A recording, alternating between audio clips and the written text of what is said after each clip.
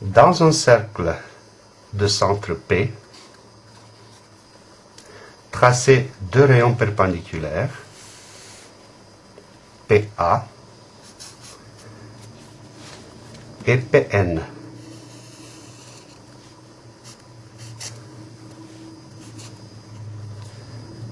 Marquez le milieu E du segment PN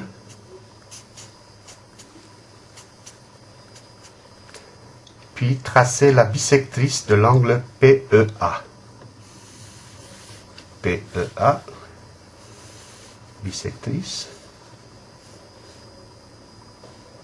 Elle coupe AP au point G. Tracez la perpendiculaire à AP, passant par G. Elle coupe le petit arc AN en T. Mesurez l'angle APT. APT. Si on fait la construction assez exacte, en prenant par exemple le rayon PA de 5 cm, on trouve APT environ 72 degrés. Est-ce que vous pouvez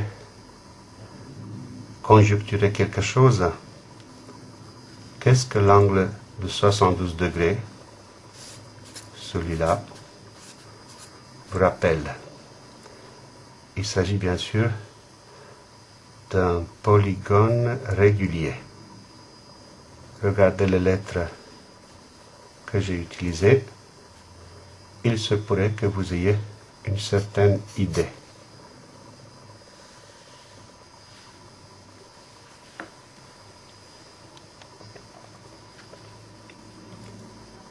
72 s'obtient en divisant 360 degrés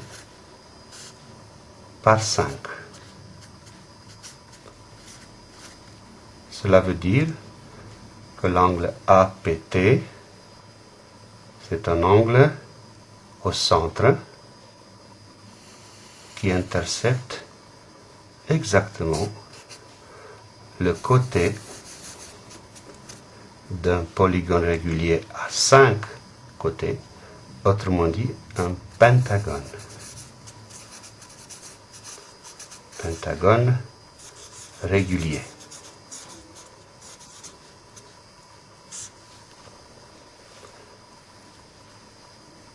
Évidemment, pour l'instant, on est dans l'à peu près.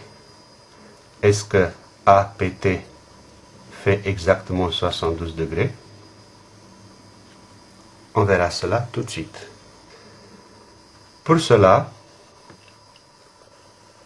on pourrait trouver exactement la valeur de l'angle APT dans un triangle rectangle, par exemple TGP, si on connaît deux côtés. Comme ça, on peut utiliser la trigonométrie. PT, appelons PT1, le rayon du cercle, une unité, PA égale PT égale PN, égale une unité. En l'occurrence, c'était 5 cm cette unité. Puis, qu'est-ce qu'on pourrait trouver dans ce triangle? Peut-être le segment PG. D'abord, EP étant la moitié de NP, EP, ça fait un demi. Un demi.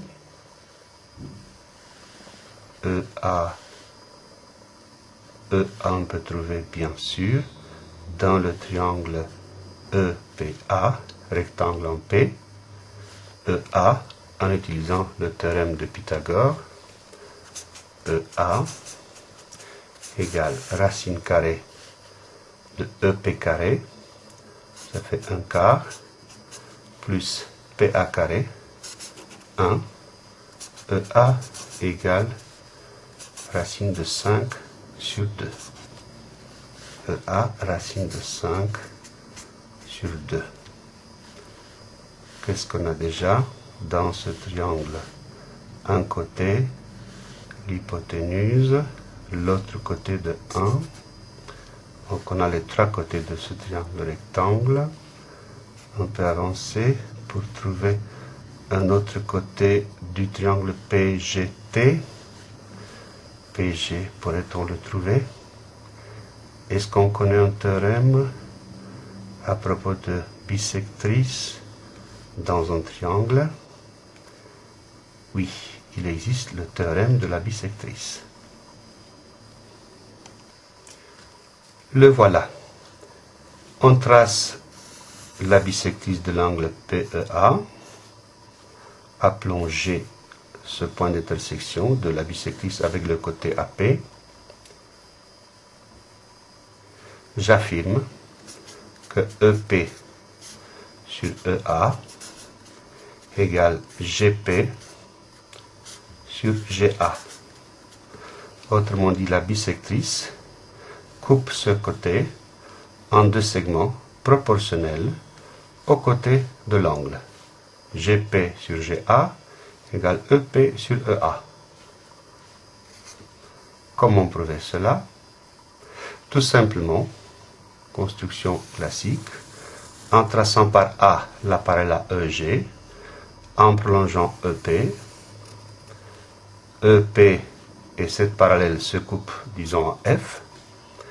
Pourquoi je trace cette parallèle à F Parallèle à EG. Voilà pourquoi. Déjà, j'ai ici deux angles alternes internes qui sont égaux parce que les droites sont parallèles, mais ces deux angles sont aussi égaux par hypothèse, ou si vous voulez, ils ont la même mesure. 1, 2, 3, tous ces angles sont de même mesure. Allons plus loin, découvrons aussi d'autres angles. Si on pense aux angles correspondants, toujours formés sur ces deux parallèles avec cette séquente, l'angle 4, qui est égal à l'angle 1, même mesure, angle correspondant. Mais alors, ça nous fait que les angles 3 et 4 sont aussi de même mesure. Autrement dit, le triangle EAF, il est isocèle. Du coup, il a ces deux côtés égaux. Et maintenant, ça nous rappelle, cette parallèle à celle-là, ça nous rappelle aussi le théorème de Thalès. On pourrait écrire donc que EP sur EF égale GP sur GA. EP sur EF égale GP sur GA, à cause du fait que EG et FA sont parallèles. Alors, GP sur GA, c'est le même rapport. EP sur EF, et là c'est EP sur EA. Est-ce que EA et EF sont égaux? EA et EF ben, Ils sont égaux parce qu'on vient de prouver cela. Du coup, cette relation qui est approuvée est vraie à cause de celle-ci. Et du fait que EF et EA sont égaux. Et nous voilà, on vient de prouver le théorème de la bisectrice, bien connu il y a 2500 ans du temps d'Euclide, Thalès et les autres Grecs anciens. Utilisons le théorème de la bisectrice dans le triangle PEA pour la bisectrice EG. Donc EP, ça fait 1 demi. EA, racine 5 sur 2. PA égale 1. J'aimerais connaître PG. Comme je ne connais pas, je l'appelle X. PG, je note avec X. Évidemment, AG étant 1 moins X. Le rayon PA qui fait 1 moins X, PG. Et je vais écrire le théorème de la bisectrice. Ces deux côtés, le quotient X sur 1 moins x est égal au quotient des deux côtés respectifs, 1 demi sur racine de 5 sur 2. Ce côté sur celui-là égale ce côté sur celui-là.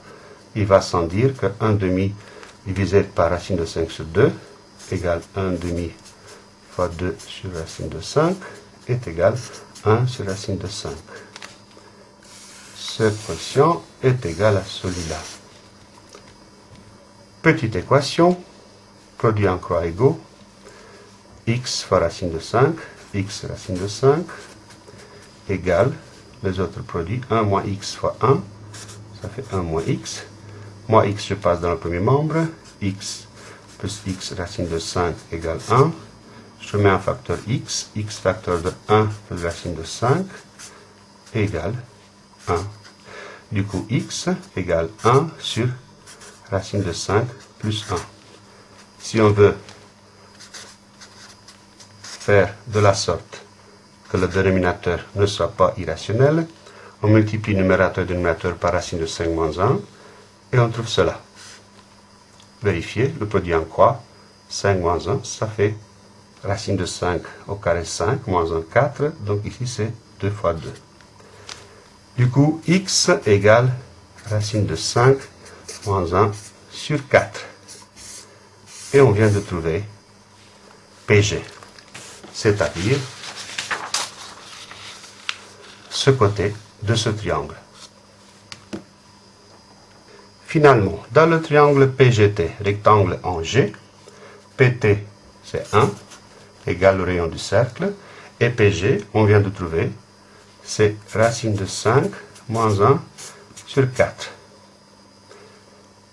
Je rappelle qu'il fallait calculer cet angle. Cet angle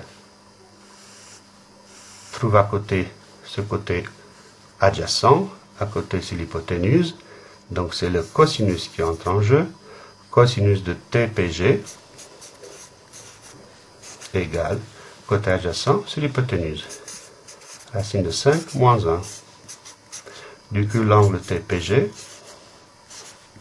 est égal à cosinus moins 1 de racine de 5 moins 1 sur 4. À la calculette, vérifiez que cela donne 72 degrés. Exact. Pas un degré ou un morceau de degré en moins ou en plus. On vient de prouver que l'angle TPG, autrement dit TPA, c'est la même avec TPG, est égal vraiment à 72 degrés, dans l'autre approximation au rapporteur initial est maintenant justifiée par le théorème et la démonstration de tout à l'heure. On peut être sûr que AT est exactement le côté du pentagone régulier, inscrit dans le cercle ici présent.